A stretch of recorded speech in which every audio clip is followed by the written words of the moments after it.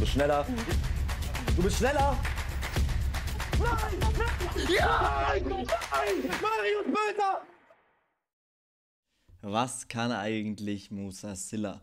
Unser Top-Neuzugang Musa Silla für zweieinhalb Millionen Euro aus Frankreich gekommen. Und ähm, ich glaube, nee, es ist tatsächlich so. Das ist die erste Analyse, die ich mache. Und ihr habt den Spieler schon gesehen. Das heißt, ihr könnt gleich die Analysedaten, die ich euch einmal zeige, mit dem vergleichen, was ihr in den Testspielen gesehen habt. Musa Silla hat ja eingeschlagen mit einer Bombe. Ich glaube, zwei Tore gegen Felbert gemacht, Hattrick gegen Meppen und auch getroffen gegen Midtjylland. Torvorlage gegen Midtjylland, muss man sagen. Also der Mann ist super reingestartet. Ähm, man sieht direkt, warum wir so viel für ihn ausgegeben haben, weil er ein absoluter Unterschiedsspieler ist. Und das möchte ich mit euch jetzt einmal kurz anhand von Statistiken analysieren und euch einfach mal zeigen, ja, wo hat er seine Stärken, wo hat er seine Schwächen, was können wir von ihm erwarten und dann sage ich nochmal so einen kleinen Ausblick, wo, wie gesagt, was man von ihm erwarten kann und äh, wo ich ihn auch sehe in unserer Aufstellung. Und ich würde sagen, wir fangen wieder mit den ganz normalen Analysedaten an. Ja, also wir haben einen 24-jährigen Offensivspieler verpflichtet, ähm, wird 25, ist aktuell tatsächlich Nationalspieler von Mali, hat da auch zwei Spiele für Mali gemacht. Also er ist kein Franzose, sondern er ist wie ihr hier seht, seit dem 22.03.2024 der Nationalspieler von Mali zusammen mit Ibrahima Sissé. Vielleicht werden die sich dadurch, oder hoffentlich werden sie sich dadurch gut verstehen. Der gute Silla hat schon relativ viel hinter sich, ja. Er hat äh, bei AS Monaco begonnen, ist dann zum FC Utrecht gegangen und von Utrecht zu KN und dann ne, über Wechsel zu Pau und dann auch am Ende bei Pau geblieben. Also der Mann war schon äh, in Frankreich und in Holland aktiv Monaco-Jugend liest sich erstmal richtig stark. Ähm, dazu dann auch Utrecht schon in der Eredivisie gespielt. Dann in der äh, Ligue 2, ihr seht es hier unten, also Eredivisie hat er sogar die meisten Spiele in seiner Karriere gemacht mit 56. Allerdings, wenn man hier mal guckt, äh, nur 2500 Minuten. In der Ligue 2 sind es 3300 Minuten. Allerdings auch schon Ligue 1 gespielt, äh, Youth Champions League gespielt und tatsächlich auch Champions League plus ein Treffer in der Champions League. Also wir kriegen einen mit 24 sehr, sehr erfahrenen Spieler, der schon auf dem, Ö der schon auf dem höchsten Niveau gespielt hat. Ähm, ja, und wir können uns ja auch noch seine Statistik ansehen. Ich meine, ihr seht hier, ja, seine äh, von der Torausbeute, seine oder seine besten Saisons waren definitiv Ligue 2. Da hat er nämlich äh, 15 Tore und 9 Vorlagen gemacht in der National 2. Ich glaube, das ist die dritte Liga Frankreichs. Da war er auch schon stark unterwegs. Eredivisie 11 Scorer in 56 Partien. Ja, Ligue 1 nur 3 Scorer und in der Champions League hat es zu einem Tor gereicht. Wenn man sich jetzt aber mal, wie gesagt, anschaut, ähm, wie er da performt hat. Also hier in der Eredivisie kam er, ja, Bank stammmäßig immer mal wieder zum Wechsel und hat sechs Tore und zwei Vorlagen gemacht. Das ist vollkommen in Ordnung. Ihr dürft nicht vergessen, es war die Saison 21, 22 also drei Jahre zurück, da war er 21. Das kann man definitiv schon mal so machen, würde ich sagen. Ähm, dazu, wie gesagt, sein Champions League-Debüt hier gegeben und direkt getroffen. Ligue 1, fünf Spiele, 300 Minuten, zwei Tore. Also der Mann hat definitiv seine Qualitäten bewiesen. Bei ihm hat so immer ein bisschen die Konstanz gefehlt. Ich glaube, Konstanz ist auch eine Sache, die man ihm ankreiden kann. Denn bis auf die letzte Saison war er nie wirklich der konstanteste Spieler. Ihr seht es hier, 22, 23, nur 10 Einsätze, ein Tor, eine Vorlage dann zu ähm, Kein gegangen, 13 Spiele, zwei Vorlagen, also nicht wirklich konstant. Die Saison 2021, 21 Einsätze, eine Vorlage. Also äh, die Konstanz ist so ein bisschen das Problem bei ihm. Die Konstanz ist so ein bisschen das, was ihm fehlt. Ähm, er ist variabel einsetzbar. Er kann rechts, Sturm und links spielen. Auch sehr, sehr wichtig für uns, denke ich mal. Und jetzt gehen wir mal ein bisschen auf seine Analysedaten ein. Und da muss man hier zunächst einmal sagen, ganz wichtig vorher, Silla wird hier mit Flügeln verglichen. Ja? Er hat viel im Sturm gespielt, viel auf Außen.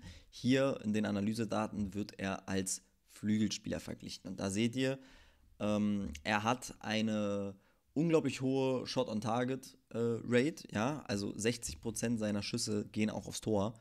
Ähm, er hat die drittmeisten Tore aller Flügelspieler, die viertmeisten Non-Penalty-Goals. Ähm, die Goal-Conversion ist auch sehr, sehr ordentlich. Also die Schüsse aufs Tor, die dann auch reingehen in Prozente, hat er eine unglaublich gute äh, Goal-Conversion von, da ist er der viertbeste. Ähm, ihr seht aber, dass viele der wichtigen Stats tatsächlich gar nicht so gut sind. Also ihr seht Dribble Success Rate 14 da mit ähm, 57 Prozent. Ähm, Flanken nur 16. 3,1 pro 90 Minuten. Ähm, Keypässe 23. Short Assists nur der Platz 30. Expected Assists Platz 36. Also ähm, in vielen Sachen, alleine generell Dribblings, 47. der Liga. Das ist alles, liest sich jetzt alles erstmal nicht so gut. Ähm, ich würde trotzdem behaupten, dass Musa Silla ein starker Spieler ist. Ich kann euch auch gleich zeigen, woran man das festmachen kann. Das hier sind halt die Stats pro 90 Minuten. Ja, das dürft ihr nicht vergessen. Wir können die hier auch einmal ausschalten. Das wird sich dann halt nicht viel an der, an der Aufreihung ändern. Nevermind, es ändert noch einiges. Weil ihr seht, ähm, im gesamten Vergleich, wenn man dann sagt, okay, hier muss man sagen, bei 90 Minuten ist es halt ein bisschen unfair, beziehungsweise für ihn, man kann, man sagen, wie man möchte, weil er hat als Stammspieler gespielt, andere Spieler, die vielleicht nur 1000 Minuten gespielt haben, was roundabout 10 Spiele sind oder 11, ähm, die können natürlich in diesen 11 Spielen, wenn sie da jedes Mal fünfmal aufs Tor schießen, haben sie fünf Schüsse aufs Tor. Wenn Silla aber in jedem Spiel gespielt hat, ist die Wahrscheinlichkeit niedrig. Also je mehr man spielt, umso besser sind diese Stats. Äh, und deswegen kann man hier auch mal diese per Night die Stats rausmachen und dann seht ihr, was er insgesamt hat. Und ihr seht, wenn es dann um reine Tore geht, ist er der Beste. Non-Penalty Goals ist er der Beste. Ihr seht dann auch, dass seine Expected Goals mit 9,07 die drittbesten der äh, Flügelspieler sind. Insgesamt 108 Flanken geschlagen, damit ist er der sechstbeste. Aber es geht halt immer darum, pro 90 Minuten, weil wenn man überlegt, nochmal, wenn ein Spieler 10 Spiele macht und 10 mal flankt pro Spiel, dann hat er 10 Flanken pro 90 Minuten und 100 Flanken insgesamt. Wenn ein Silla 5 mal flankt pro 90 Minuten, aber halt 20 oder nee, wir sagen mal 30 Spiele macht, dann kommt er auf 150 Flanken. Dann ist er hier in den Gesamtstats besser, aber pro 90 Minuten, was halt für manche viel wichtiger ist, ist er schlechter, wenn ihr versteht, was ich meine. Aber ansonsten seht ihr es hier, er spielt auch die acht meisten Keypässe. Da ist er dann zum Beispiel wieder ordentlich unterwegs. Von daher, das, sieht sich, das liest sich alles schon ein bisschen besser. Wir gehen mal nochmal auf die anderen Statistiken ein, um euch das Ganze mal ein bisschen in den Kontext zu setzen. So, denn wir haben Musa Silla hier einmal in den Vergleich. Ihr seht, rechter, Wing, äh, rechter Winger, 3138 Minuten als ähm, ja, Referenzzeit und 55 Spieler, Flügelspieler aus der zweiten Liga äh, Frankreichs wurden verglichen. Und ihr seht direkt bei Musa Silla, er ist ja ein interessanter Spieler. Er ist ein interessanter Spieler, ihr seht, ähm, er hat eine gute Kopfballquote, Aerial Wins, knapp 40 Prozent, das ist für einen Flügel relativ stabil. Ihr seht auch mit dem Ball, ähm, seine Drilling Success Rate ist gut, 57 Prozent. Das haben wir ja auch auf der anderen, ähm, auf Data MB gesehen, dass seine Dribbling Success Rate wirklich gut ist. Ihr seht aber auch, dass Progressive Passes, Progressive Carries und Co. ist nicht ganz seine Stärke. Und ich finde, das hat man aber auch in den Testspielen gesehen. Was bei Musa Silla die Stärke ist, sind seine Laufwege, ist das Gespür für den Raum. Ja, erinnert euch an das Tor bitte gegen Midtjylland, erinnert euch an das Tor gegen ähm, Meppen, das letzte da macht Zilla diesen perfekten Run. Ja? Er macht den perfekten Run und hat dann das leere Tor vor sich. Auch sein, ähm, ich glaube, erstes Tor gegen Meppen war ja, wo er auch nochmal auf Tobi Moore rüberlegt. Tobi Moore legt nochmal rüber. Da äh, hat Zilla auch das Gespür für den Raum und das sind so so eine Sachen, die kann man hier nicht ähm, in diesen Statistiken auffassen. Aber das macht er unfassbar gut. Er ist sonst überall im durchschnittlichen Bereich, ja. Also gerade hier in den ähm, Assists Statistiken überall gelb ist durchschnittlich. Das heißt, er ist ein durchschnittlicher Ligue 1-Flügel. Die, Fra äh, Ligue die Frage ist, wie gut ist die Ligue 1 im Vergleich zur zweiten Liga? Ich würde sagen, ein bisschen schlechter. Deswegen muss man gucken, wie er das Ganze umgesetzt kriegt. Aber ansonsten, ihr seht gerade in den Schussstatistiken, also hier, wir haben es schon gesagt, 22,7% seiner Schüsse aufs Tor sind Tore. Also fast jeder vierte Schuss aufs Tor ist drin. Das ist stabil. Ähm, das sind gute Statistiken. Das sind gute Statistiken für einen äh, Flügelspieler. Und wenn er das so überträgt in die, in die zweite Bundesliga-Saison, dann macht der Mann auch seine 15 Scorer. Da bin ich mir unfassbar, unfassbar sicher. Ähm, jetzt möchte ich euch noch kurz die FB-Ref-Statistiken zeigen und dann noch einmal einen Vergleich zu unserem besten Spieler, Kenan Karaman. So, angekommen bei FB-Ref habe ich einmal seine Saison, ihr seht ähm, 22, 23 aus der Ligue genommen und möchte ihn einmal in den Kontext setzen. Ganz wichtig ist hierbei, ihr müsst immer mal gucken, ähm, wie, wie ihr ihn vergleichen wollt. Also wo seht ihr ihn? Im Vergleich zu Mittelfeldspielern macht für mich relativ wenig Sinn, weil das sind meistens zentrale offensive Mittelfeldspieler, zentrale Mittelfeldspieler und zentrale defensive Mittelfeldspieler. Das heißt, wenn wir das machen, seht ihr direkt, ist er unfassbar gut. was aber auch normal ist, weil natürlich er hat mehr Torschüsse als die meisten ZMs und ZDMs und Zehner. Das ist ganz klar. Deswegen verstehe ich den Vergleich hier nicht ganz. Ihr seht es auch mit Mittelspielern verglichen. Ähm, wenn wir jetzt mal kurz auf die 365 Tage Vergleichswerte gehen, dann seht ihr bei Mittelfeldspielern wird er mit einem Ferrei, einem Benesch, Hartl verglichen. Und ich glaube, da wisst ihr selber, okay, das macht keinen Sinn, weil er ist nicht so ein zurückgezogener Spieler. Er spielt viel weiter vorne. Deswegen den Vergleich mit Mittelfeldspielern sehe ich bei ihm gar nicht und deswegen würde ich den auch gar nicht machen. Ja, ähm, vergleichen wir ihn mal mit Stürmern, dann seht ihr raumgewinnende Pässe, die er kriegt, äh, 9,46. Was dafür steht, ja, er ist anspielbereit. Er ist zwischen den Linien anspielbereit. Er kriegt diese Pässe. Das macht er unfassbar stark. Für einen Stürmer flankt er relativ viel. Ähm, Expected Assists 0,22. Raumgewinnender Ballbesitz, also wie er den Ball trägt, äh, 3,15. Das ist für einen Stürmer gut. Für einen Flügel wird es nicht mehr so gut sein. Goal Creating Actions durch Schüsse, Vorlagen, Tore, Vorlagen, progressive Passentfernung. Also ihr seht, der Mann ist gerade im, im Spiel mit dem Ball, ist er schon sehr, sehr ordentlich. Wenn wir ihn jetzt, wie gesagt, mal mit Flügelspielern vergleichen, guckt euch mal hier die Zahlen an. Ihr seht, es wird schon ein bisschen schlechter. Also er ist ein guter Stürmer, oder ich würde sagen, ein sehr guter Stürmer und ein guter Flügelspieler. Ja, wenn wir uns das hier mal wieder angucken, verliert relativ wenig den Ballbesitz. Ähm, wie gesagt, Torschüsse in Prozente sind wieder richtig gut. Getroffene Elfer ist eigentlich relativ egal. Flanken in die Strafraum ist er nur noch die Top 15 Prozent. Wie eben schon angesprochen, ne? als Flügel ist es dann wieder ein bisschen schlechter. Erwartete Tore ist er auch relativ okay. Gewonnene Kopfballduelle ist halt dafür wieder stark. Er macht's gut. Er macht's gut. Und wenn wir ihn jetzt mal, wenn wir ihn jetzt mal als ähm, Flügelspieler in den Vergleich setzen mit Kenan Karaman, das können wir nämlich machen. Ich habe Kenan Karaman nämlich immer hier rumlaufen.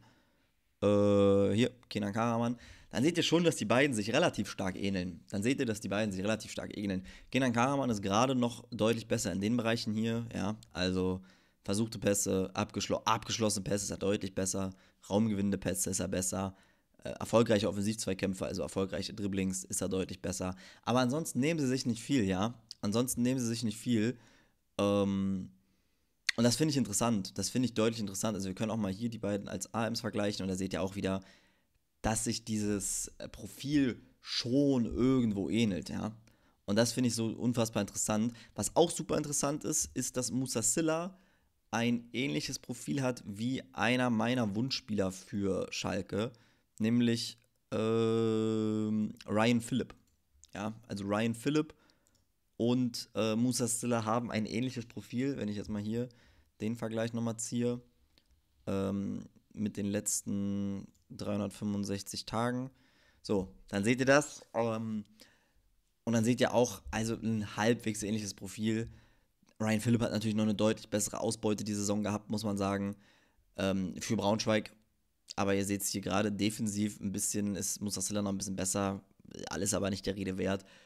Dennoch ein interessanter Vergleich zu einem meiner absoluten Favoriten für die ähm, Nachfolge von Kenan Karaman. Ist jetzt nicht mehr so wichtig.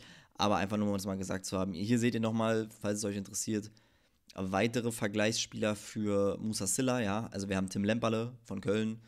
Wir haben, wie gesagt, Ryan Philipp. Wir haben Maschi Maschino von Köln, äh, von Kiel, Köln.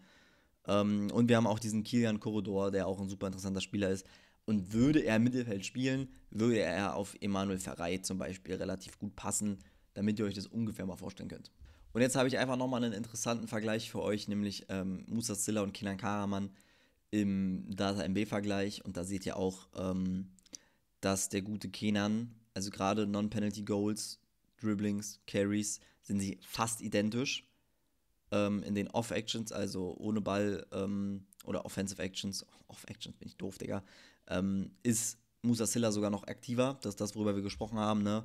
Ähm, Keypässe ist er auch deutlich aktiver als Kenan Karaman. Dafür hat Kenan die deutlich, also noch ein Stück mehr Assists, noch ein Stück mehr Expected Goals plus Expected Assists. Aber ihr seht, sie ähneln sich schon stark. Sie ähneln sich schon stark und ich glaube, das ist das, was, ähm, was auch extrem gut sein könnte. Nämlich, äh, und jetzt die Frage, die sich gefragt wurde, wo ich ihn sehe. Ich sehe nämlich Musa Silla ganz klar als äh, zweiten Stürmer, beziehungsweise als Doppel-10. Also ihr könnt euch das so vorstellen, ein 3-4-2-1 mit zwei Halbraumspielern und einem Stürmer, ähnlich wie es Bayer Leverkusen macht. Und auf den beiden Halbraumpositionen Karaman und Silla. Das wäre für mich eine extrem starke Aufstellung. Silla kann auch in den Sturm gehen, ja, er kann diese, ähm, diese Bälle erlaufen, er kann die Räume suchen. Allerdings glaube ich schon, dass seine Optimalposition wirklich dahinter wäre. Also, dass man dann einen Stürmer hätte, der die reine Abschlussqualität hat, der vielleicht auch ein bisschen größer ist und trotzdem schnell. Und dann dahinter mit Karaman und Silla zwei absolute Kreativspieler, die immer die Räume suchen, die sich anbieten. Das könnte schon sehr, sehr gut werden. Äh, schreibt mir mal gerne eure Meinung in die Kommentare. Glaubt ihr, Silla startet durch? Wie habt ihr im, äh, den Testspielen erlebt? Ähm, sind die 2 Millionen oder 2,5 Millionen Euro gerechtfertigt, ja oder nein? Dann lasst doch gerne ein Like da, kommentiert. Ähm, nächste Woche gibt es dann Felipe Sanchez. Vielleicht ist er bis dahin noch ein weiterer Neuzugang da, ich glaube es aber nicht. Bis dahin, Leute, macht's gut, haut rein und ciao.